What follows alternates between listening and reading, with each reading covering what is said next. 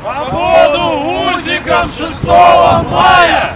Свободу узникам 6 мая! Ивановцы, солидарные с политзаключенными, в субботу вышли на площадь Ленина с пикетом, чтобы поддержать людей, пострадавших за свои политические убеждения. Восьмерым узникам Болотной в минувшую пятницу, 21 февраля, суд должен был вынести окончательное обвинение, но оглашение приговора перенесли на понедельник. По словам пикетирующих, для того, чтобы не омрачать итоги Олимпиады в Сочи.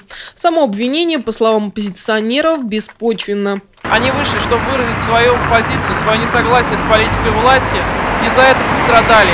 Им квалифицируются массовые беспорядки, причинение урона сотрудникам полиции. Но на самом деле, как мы думаем, э, эта давка была спровоцирована специальной властью, чтобы принять ужесточающие законы за митинги, штрафы, чтобы показать обществу, что с ним будет, если оно будет выражать свою гражданскую позицию самостоятельно.